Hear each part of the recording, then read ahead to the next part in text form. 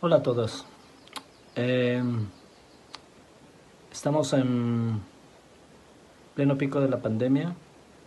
El- lo del COVID ha sido, en efecto, una cosa bastante desgarradora, bastante terrible y es obvio que nosotros no nos íbamos a escapar. Es importante que la gente sepa que nosotros no tenemos hospitales que atiendan el COVID, no tenemos un área especial para atender esos casos, lo que motiva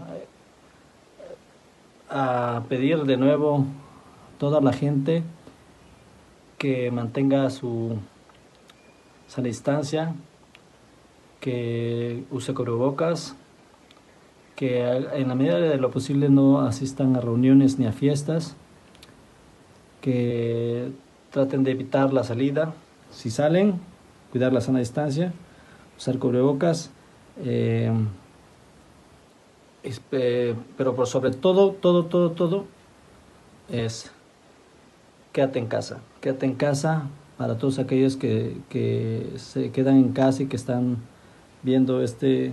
eh, este video es bien importante quedarse en casa, no salir, no acudir a ninguna aglomeración, no, este, no hacer ninguna de esas cosas que van a lastimarnos. Como sociedad juchiteca vamos a ver un número alto de contagiados y lamentablemente fallecidos. Es importante por eso eh, recordar todas las, las medidas que, se ha, que, ha aplicado el gobierno, pero por sobre todo es mantén, mantente en casa, quédate en casa.